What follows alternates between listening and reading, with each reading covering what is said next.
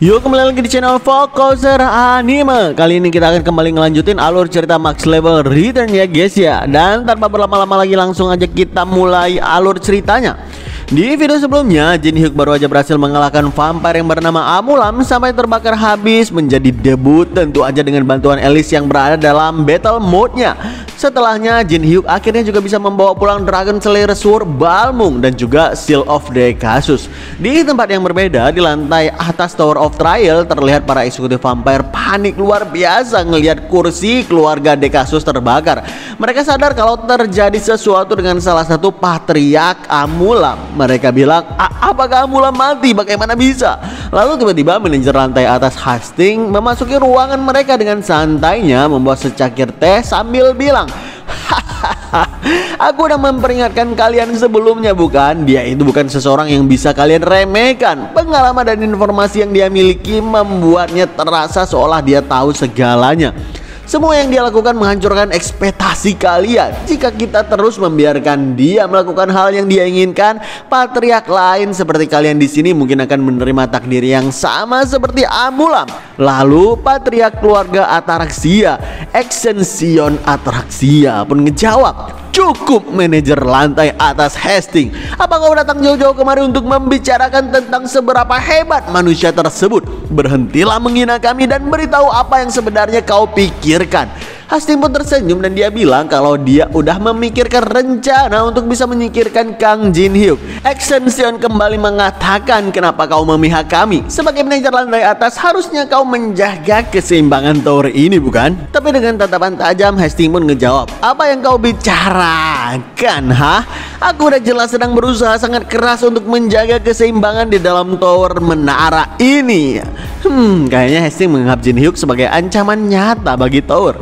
Oke, Oke kita kembali ke tempat Jin Hyuk berada. Saat ini Versis lagi packing-packing Untuk kembali berkelana. Dia nggak lupa memberikan hadiah kepada Jin Hyuk berupa item kubus Yang bisa memeriksa peringkat menara setiap saat. Jin Hyuk sendiri terlihat masih penasaran kira-kira akan digunakan untuk apa nih item setelah Versis berangkat, tiba-tiba Teresa pun datang menghampiri Jin Hyuk dengan senyumannya yang tersipu-sipu malu. Ternyata Teresa sangat senang baru aja dibebas tugaskan oleh Archbishop Savannah. Dia ngeluarin Teresa secara terhormat dari pasukan kekaisaran suci karena nggak mau Teresa bernasib sama dengan dirinya, nggak bisa memiliki keluarga dan nggak bisa menikah seperti dirinya yang nggak bisa menikahi Penheimer sebelumnya. Makanya sekarang dengan hati yang berbunga-bunga Teresa de Laurentia secara resmi udah bergabung ke Veteran Company. Sebagai perayaan atas bergabungnya Teresa, dia pun malu-malu mengundang Jin Hyuk ke rumahnya untuk perayaan pesta. Ya untung ada Black Teresa yang berani mengatakannya dengan gamblang.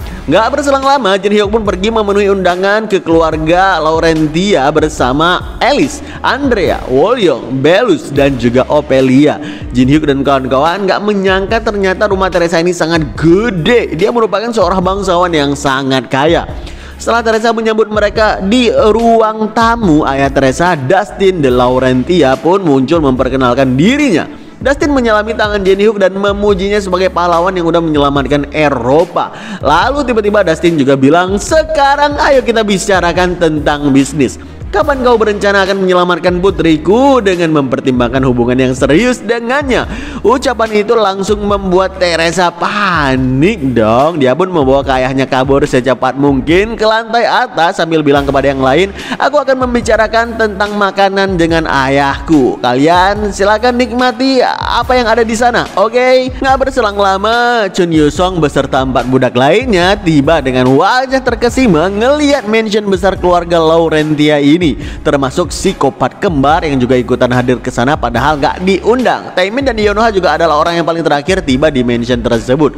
Setelah semua member lengkap, Jin Hyuk pun memberikan pidato singkat agar menjadikan perayaan hari ini sebagai acara saling mengenal seluruh member veteran company dan mereka pun menikmati pesta tersebut tanpa keraguan sedikit pun.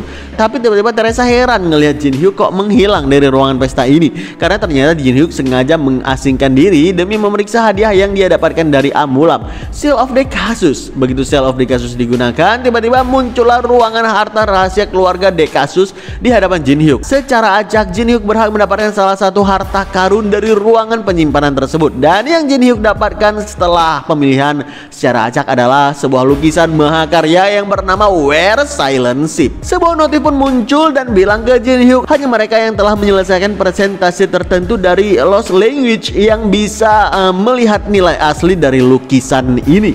Terlihat Jin Hyuk uh, sangat heran dia dapat lukisan ini dari peluang yang acak Ya memang benar sih kalau start lucknya ini tinggi Tapi mendapatkan sesuatu seperti ini bukannya terlalu berlebihan. Kalau Jin Hyuk nggak salah ingat Lost Language ini adalah keuntungan kedua yang didapatkan bagi orang yang pertama kali menyelesaikan uh, menara. Dalam hatinya Jin Hyuk bilang Apa iya aku mendapatkan lukisan ini murni dari peluang? Seakan seseorang sedang membantuku untuk menyelesaikan Lost Language ini Lalu tiba-tiba muncul notif pesan lain di samping Jin Hyuk yang bilang Jadi kau akhirnya menyadari ya Kang Jin Hyuk? Tentu Jin Hyuk kaget dong menerima pesan tersebut.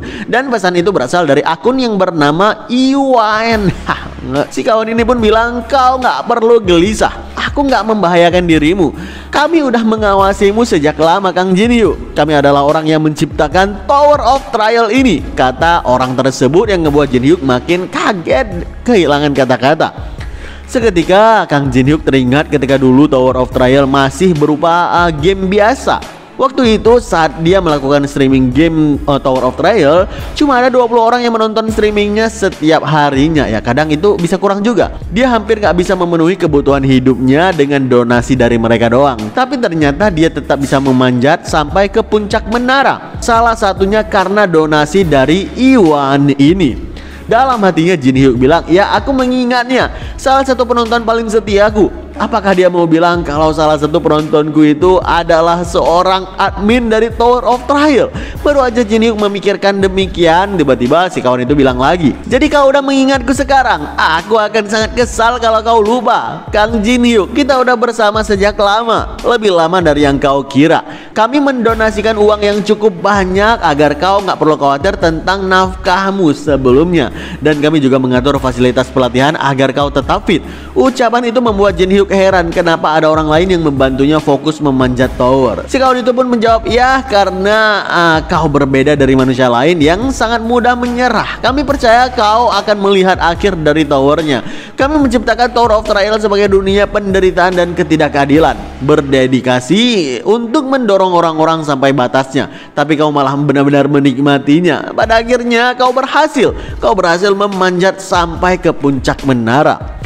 Jin Hyuk pun bilang, Oh jadi semua keuntungan khusus ini dan petunjuk untuk Forgotten Language adalah ulah kalian ya. Jadi apa yang kau inginkan dariku sebenarnya? Maksudku apa alasan kalian berinvestasi sangat banyak kepadaku ini? Si kawan itu pun menjawab, aku suka kau cepat memahaminya.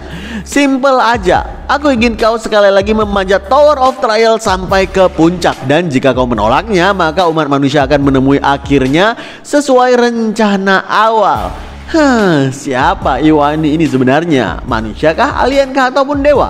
Mimin juga belum tahu, tapi setidaknya kita jadi tahu Tower of Trial ini adalah ujian khusus yang dibuat untuk manusia agar kehendak mereka diakui di bumi dan gak dilenyapkan oleh para pembuat menara ini. Hmm, kira-kira begitulah. Tiba-tiba Elis pun datang menghampiri Jin Hyuk dan nanya ngapain dia di situ sendirian. Mereka berdua pun duduk di samping air mancur dan Jin Hyuk cerita kalau dia baru aja memeriksa hadiah yang didapatkan dari Amulam. Jujur Elis senang udah berhasil menyingkirkan Amulam, salah satu dari enam patriark vampire yang mengkhianatinya. Jin Hyuk berjanji akan membantu Elis membalaskan dendam ke semua patriark. Mendengarkan itu Elis pun tersenyum dan bersandar ke pundak Jin Hyuk. Teresa yang eh, nggak uh, sengaja ngeliat dan ngedengerin mereka dari kejauhan langsung tersenyum getir. Rasa-rasanya udah terlambat baginya untuk deketin Jin Hyuk lebih jauh Ya itulah cinta. Di balik besar harapan besar pula patah hatinya. Keesokan harinya Jin Hyuk dan kawan-kawan pulang ke Korea menggunakan pesawat. Dalam perjalanan pesawat tersebut dia ngelihat foto bersama di HP-nya Dan merasa puas acara perayaan sebelumnya berhasil membentuk pertemanan yang solid antara anggota veteran company. Tapi Jin Hyuk juga teringat kata-kata peringatan dari Iwan Waktu itu dia mewanti-wanti Jin Hyuk dengan keras kalau kalau lantai ke-50 Tower of Trial ini akan sangat berbeda dari sebelumnya. Sayang Jin Hyuk nggak bisa mendapati semua info akibat batasan sistem tower. Jujur Jin Hyuk nggak menduga hal ini akan terjadi. Tapi sebenarnya dia sih nggak terlalu khawatir juga karena bukan hanya tower yang berubah, tapi dia pun kini udah berubah dengan anggota yang sangat bisa diandalkan. Oke nggak berselang lama terlihat Jin Hyuk berada di rumah Yo Yeon Hwa dan sedang berbicara dengan kakeknya si Yeon Hwa ini. Ngelihat aura dari kakek Yeonhwa saat ini, Jin Hyuk bersyukur uh, udah membuat kakek Yo berada di pihaknya sejak awal. Bahkan dengan skill matanya itu, Jin Hyuk langsung tahu kalau kakek Yo berada di atas rank S meski belum mengambil ujian kebangkitan. Ya kakek Yo adalah martial artis yang sangat kuat. Wajar kalau dia punya potensi yang besar. Sekilas dia ini memang terlihat mirip dengan kakek Dark Emperor sih. Setelah basa-basi singkat, barulah kakek Yo nanya ke Jin Hyuk untuk apa dia datang kemari sebenarnya. Jin Hyuk bilang kalau dia pengen membawa Yeon Hwa bersamanya ke lantai 15 menara. Ya intinya si Jin Hyuk ini mau meminta izin kepada kakeknya Yeon Hwa untuk membawa cucunya ke lantai 15 dan juga ada beberapa hal penting yang mau dia bicarakan juga. Taimin yang sedang berada di rumah Jin Hwa itu juga penasaran apa yang sebenarnya sedang Jin Hyuk bicarakan dengan si kakek. Yeon Hwa pun bilang, e, menurutku sih pasti membicarakan tentang pergi ke lantai 15. Mendengarkan itu seketika wajah Taimin langsung pucat berkeringat dingin. Dia tahu kalau lantai 15 menara adalah Artistic Tom tempat di mana bos yang paling terkenal yang bernama The Wailing Witch berada. Beberapa saat kemudian terlihat udah banyak player yang berada di gerbang ke-15. Mereka bahkan udah menyiapkan camp unit penyerangan untuk melakukan raid ke reruntuhan kuno Artistic Tom pemimpin dari organisasi terkuat Eropa yang bernama Olympus, pemimpin dari organisasi terkuat yaitu Guild Dangun, serta ketua Guild Gandara yang merupakan guild terkuat dunia katanya. Mereka semua udah berkumpul di dalam kemah untuk membahas progres raid tersebut. Ketua Guild Gandara yang bernama Nirasha dengan kesal bilang kepada para pemimpin guild yang uh, hadir di sana, semua guild terhebat dan terkuat dunia udah hadir di sini. Tapi bukan hanya kita gagal dalam penyerangan, kita juga masih belum bisa melewati penjaga pertama loh. Jan Eon Seok paham dengan rasa frustasi dari Nirasha, tapi menurutnya nggak ada yang bisa dilakukan melawan para penjaga yang dijuluki Seven Sin atau tujuh dosa tersebut. Mereka memang sangat kuat. Para monster itu tahan terhadap semua tipe demek. Ditambah lagi ada beberapa kutukan misterius yang membuat unit penyerang tertidur. Nggak ada yang bisa mereka lakukan selain meluangkan lebih banyak waktu untuk merencanakan strategi yang tepat. Mendengarkan ucapan Jan Eon Seok, Nirasha makin kesal lagi karena dia udah terlanjur mengumumkan akan berhasil menyerang lantai ke-15 ini sebagai perwakilan umat manusia. Apalagi dia udah berjanji akan mendonasikan item Witch Cauldron yang didapatkan di lantai ini kepada World Awaken Organization. Kekesalannya makin menjadi-jadi karena sebelum ini Dewa Shiva juga marah besar enggak eh, memberikan blessing lagi kepada Nirasha akibat menjual dirinya kepada Demon God. Waktu itu dengan tegas Shiva bilang jika kau ingin menerima blessingku sekali lagi bu buktikan kau dirimu pantas. Jadi kegagalan menyerang ke lantai 15 selain memperburuk image-nya kepada dunia, dia juga kehilangan blessing Shiva untuk selamanya jika gagal. Selagi Nirasha yang frustasi berat tiba-tiba dia tersentak kaget karena di luar kemah orang-orang pada heboh. Begitu dia keluar kemah, spontan matanya langsung terbuka dengan lebar dan wajahnya berkeringat dingin ngelihat Kang Jin Hyuk dan juga kelompoknya udah tiba di kemah unit penyerangan. Seketika para player di sana yang ngerasa down sebelumnya akibat kegagalan raid langsung bersemangat lagi ngelihat player terkuat Kang Jin Hyuk udah berada di tengah-tengah mereka. Setelah saling sapa dengan Maria dan juga In Seok, Jin Hyuk pun menyindir Nirasha kalau dia gak mendukung juga akan ketemu dengan Nirasha lagi secepat ini. Spontan Nirasha pun panik jika Maria dan Eljok tiba-tiba nanya gimana dia bisa bertemu dengan Kang Jin Hyuk sebelumnya. Sesuatu yang sangat memalukan baginya tentunya. Eh, tapi Jin Hyuk langsung bilang, aku akan terus terang. Kami akan bergabung dengan unit penyerangan. Tapi kau nggak perlu terlalu cemas. Kami nggak punya niat merebut reputasi lantai 15 darimu. Kami di sini cuma mengincar bosnya, yaitu The Wailing Witch. Yap, sebenarnya satu-satunya hal yang Jin Hyuk perlukan adalah skill The Wailing Witch yaitu Black Tear. Skill yang sangat berguna saat melawan naga nantinya di menara atas. Jin Hyuk janji akan mendonasikan item Witch Cauldron atas nama Nirasha.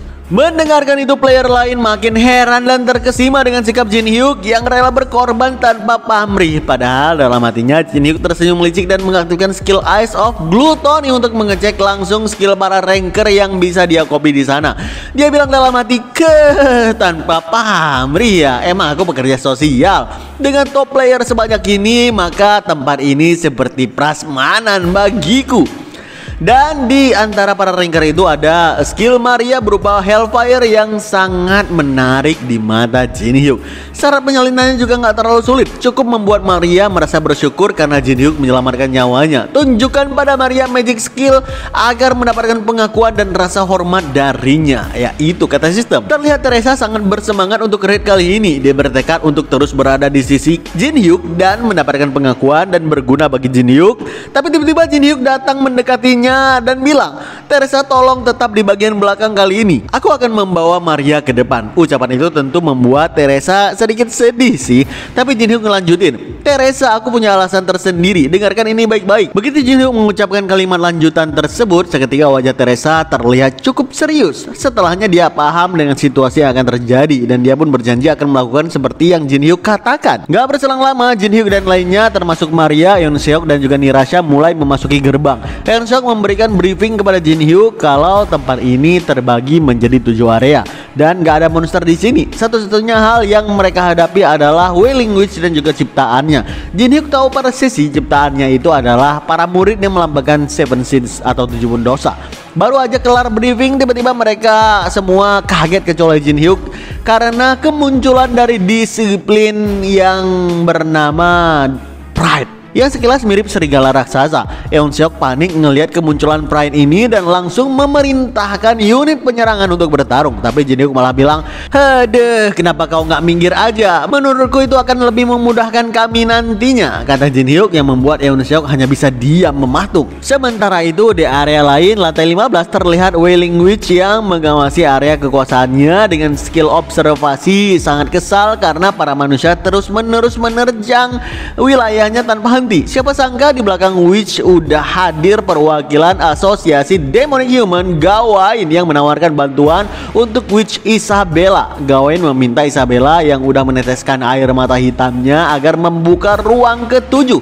Setelahnya bawaan setia Gawain, cewek yang bernama Tristan akan langsung mengatasi masalah ini sampai tuntas. Kembali ke area Jin Hyuk, terlihat Maria, Nirasha, dan Eon Seok sangat kaget ngeliat gimana Jin Hyuk mengatasi monster Pride ini. Padahal selama ini unit penyerangan nggak bisa memberikan damage apa pun kepada Pride. Justru ketika Eon Hwa teriak, beraninya kau mengangkat kepalamu dengan sangat tinggi. Kelancanganmu itu harus diberi pelajaran. Teriakan itu membuat Eon Hwa bisa memukul kepala Pride uh, dengan begitu keras sampai wajah si monster menghunjam menembus lantai seketika muncul notif yang bilang, sang disiplin Pride berada di posisi posisi yang merendah. Damage nullification telah dibatalkan. Setelah damage kegebalan dari Pride dibatalkan, maka tentu aja kombinasi serangan antara Jin Hyuk dan kedua rekan terbaiknya itu membuat Pride nggak bisa berkutik sama sekali.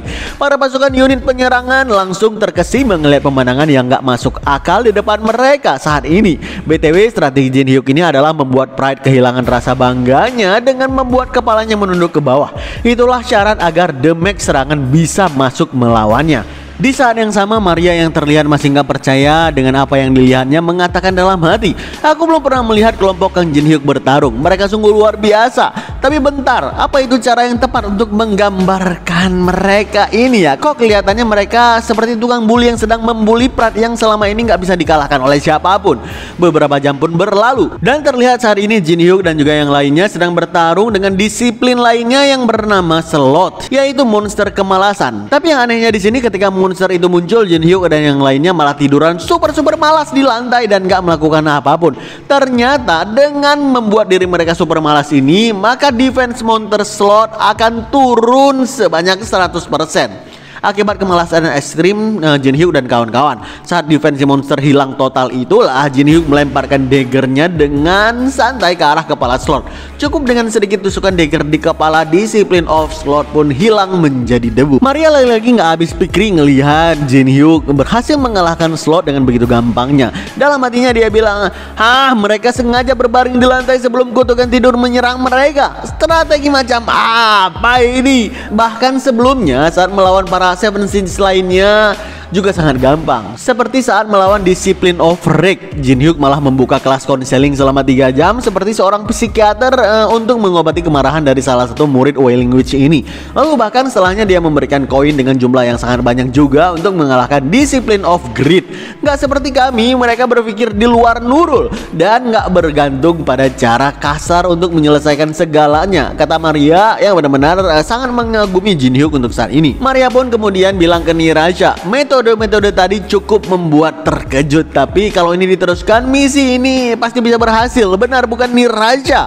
Tapi Maria ternyata kaget karena ternyata Nirasha udah nggak berada di sampingnya. Siapa sangka Nirasha saat ini sedang menyendiri di ruangan lain dan berdoa kepada Shiva agar dia kembali mendapatkan blessing dari sang dewa tersebut. Sayang mau berdoa seperti apa pun, Shiva nggak menjawab sedikit pun. Lalu tiba-tiba Nirasha tersentak kaget karena Tristan muncul di belakangnya dan bilang, kau terlihat cukup kesepian dengan duduk sendirian seperti itu. Master Guild Gandara Nirasha. Nirasha buru-buru balik badan sambil ngeluarin senjata cakram dan dia berteriak, Siapa kau? Cepat tunjukkan dirimu. Tapi Tristan malah bergerak secepat kilat dan kini berhasil berada di dekatnya, di belakang Nirasha. Tristan pun berbisik ke telinga Nirasha dengan bilang, Aku akan membantumu, kata Tristan sambil mengaktifkan skill Whisper of the Dark. Mendengarkan itu, Nirasha langsung menebaskan cakramnya ke arah belakang. Sayang, Tristan masih terlalu cepat untuk menghindari. Ngeliat Nirasha uh, masih bisa bertahan, Tristan pun bilang, Jadi rank S itu bukan hanya sekedar bahan pamer ya. Hebat juga kau bisa mampu menahan skill main kontrolku seperti itu. Jujur Nirasha sangat panik kalau harus menghadapi musuh yang bisa menyerang pikiran saat dia nggak bisa menggunakan Blazing of Mandala. Tristan kagum Nirasha mencoba memasang mental barrier, tapi tiba-tiba pupil mata Nirasha bergetar karena Tristan sekali lagi mengaktifkan skill Whisper of the Dark yang lebih kuat ke telinganya. Tanpa Dewa Shiva nggak mungkin Nirasha mampu bertahan dari skill mind control yang lebih lama lagi. Sekarang kita kembali ke tempat Jin Hyuk dan kawan-kawan berada. Terlihat Taimin dan juga Yan Hua malu-malu mengikat baju handuk mereka. Dengan wajah memerah mereka nggak mau lagi pernah berurusan dengan disiplin of Flash. Ya intinya mereka harus uh, terlihat sakne mungkin di uh, disiplin of Flash ini untuk mengalahkannya. Untungnya Lash sudah dikalahkan. Parahnya Maria juga ikutan ngintip saat Yan Hua dan Taimin melakukan adegan-adegan yang mungkin mungkin walaupun gak ditampilkan di komiknya. Ya tentu aja mereka berdua sangat malu yang membuat Jin Hyuk tertawa cekikikan. Sekarang tersisa dua disiplin lagi termasuk bosnya yaitu Wailing Witch Maria yang malu-malu ngeliat Jin Hyuk uh, melapor ke Nirasha kalau dia menghilang sejak tadi. Hal ini ngebuatnya sedikit heran. Kita pindah ke area barisan belakang. Saat ini unit barisan belakang sibuk mengumpulkan magic crystal yang didapatkan di lantai 15 ini. Kebetulan Eon Shock ini juga ikutan mundur ke barisan belakang untuk mengecek mengecek keadaan pasukan. Lalu tiba-tiba Insyok tersentak kaget ngelihat Nirasha juga berada di barisan belakang dengan tubuhnya yang diselimuti aura misterius. Insyok mencoba memanggilnya tapi Nirasha terus aja berjalan ke arah gerbang tanpa menjawab apa pun. Dan tiba-tiba Nirasha mengaktifkan skill resonance-nya tepat ke arah gerbang tersebut yang membuat gerbang tersebut hancur berantakan. Insyok yang kaget ngelihat aksi Nirasha pun bilang, "Itu satu-satunya jalan menuju rombongan di depan." Nona Nirasha, kenapa kau melakukan ini? Ini keluhan resmi sebagai perwakilan dari Guild Dangun. Nirasha tetap aja nggak menjawab dan hal ini membuat Eon Shock heran. Lalu saat Eon Shock kembali memanggil Nirasha yang matanya udah memerah, tiba-tiba Nirasha melancarkan tebasan cakram yang membuat dada Eon Shock bersimbah darah. Spontan salah satu pasukan unit belakang langsung melapor ke Maria di barisan depan via video call kalau Nirasha menghancurkan jalan, mengamuk dan juga menyerang siapa pun yang dia lihat. Apalagi ketua tim Jang Eon Shock kini terluka parah. Seketika Maria kaget luar biasa dan nyuruh tim belakang untuk merawat merawat Eonshock sesegera mungkin dan keluar dari sana. Sayangnya Eonshock menolak mundur. Meski terluka parah dia ngerasa cuma dia yang bisa menghentikan Nirasha. Makanya Maria berniat ah, harus mundur ke belakang untuk saat ini. Tapi Jin Hyuk malah bilang udah terlambat Karena sekarang kita kedatangan tamu. Maria pun tersentak kaget karena Wailing Witch dan Tristan udah berada di depan mereka. Wailing Witch alias Isabella sangat puas dengan aksi Tristan yang mengacaukan formasi uh, pasukan manusia yang menyerbu lantai 15 Jadi sesuai janji ruangan ketujuh pun diserahkan untuk Tristan dan juga si Gawain. Setelah Tristan pamit, Isabella pun teriak kepada Jin Hyuk dan kawan-kawan. Hei kalian semua beraninya kalian menghancurkan ciptaanku. Kali ini kalian akan menderita dan akulah yang akan mengawasinya. Tanpa ampun, Isabella pun mengerahkan disiplin of gluttony. Seketika monster gendut raksasa maju menerjang Jin Hyuk dan kawan-kawan yang membuat Maria lumayan panik. Gak mau kalah, Maria pun mengaktifkan skill Hellfire-nya. Api raksasa neraka pun muncul mencoba membakar gluttony, tapi sayang api sepanas itu nggak mempan Sergidon pada si monster. Malahan Glutoni terus menerjang untuk meninju Maria sekuat tenaga. Untung ada Yonhua di sana yang gesit menyelamatkan Maria. Setelah menaruh Maria di tempatnya, Yonhua pun bilang ke Maria, Magic gak akan mempan kepadanya. Terus apa kalian punya strategi aneh lainnya atau? Jawab Maria penasaran. Jin Hyuk pun bilang, Yap, Cara mengalahkannya adalah yang paling aneh dari mereka semua. Apa kau lihat benda di lehernya itu yang menggelantung itu? Susah mengenalinya karena itu udah sedikit menciut. Tapi itu adalah mayat monster yang hidup di dungeon ini. Dan kita harus memakan mayat itu agar bisa menyakiti si Glutoni. Mendengarkan itu spontan mata Maria terbuka dengan lebarnya. Dengan wajah jijik berkeringat dia pun berteriak, "Hah? Apa? Makan mayat? Apa kau udah gila?" Yo, kita coba cerita sampai di sini ya guys ya. Saksikan terus seluruh cerita Max Level Return hanya di channel Fokuser Anime dan Stay